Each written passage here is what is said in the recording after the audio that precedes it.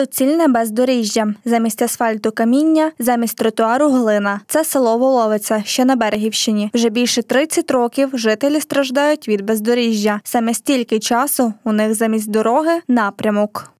Остання дорога була у 80, може, п'ятому, ать у 80-му році. По тому нігде її не... І не ремонтували, ні, А та і цю бабку лишили молоді, пішли на Чехи. Вона кожен день дитину у садик і садика забирать е, пішком. І як се у бабці ходити кожен день.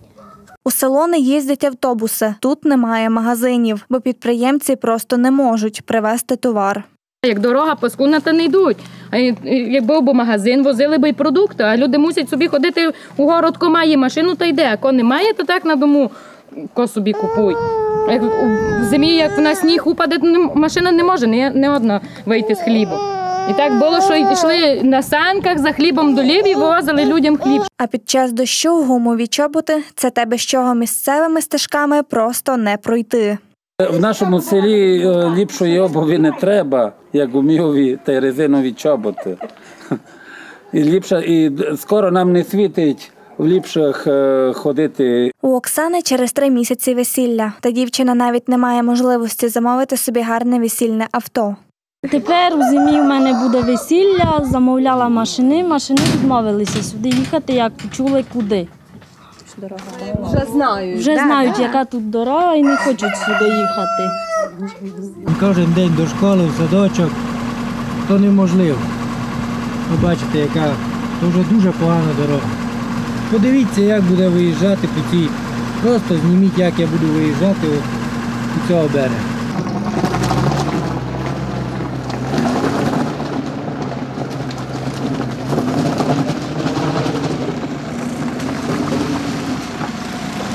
Жителі благають органи місцевого самоврядування повернути в село життя, бо через дороги молодь виїжджає. Котрі люди здорові повтікали на Чехи, повставали бабу та у котрих діти вдома. Із села усі на Чехах. В селищній раді вже розробили кошторис, провели тендер. Вартість будування шляху близько 7 мільйонів гривень. Наразі коштів немає. Та тут кажуть, що вже написали прохання про допомогу у обласну адміністрацію. Розраховують, що за потреби підрядник надасть кредит. Жителі ж вірять, що вже цього року дорогу в селі таки збудують, бо інакше село геть спорожніє.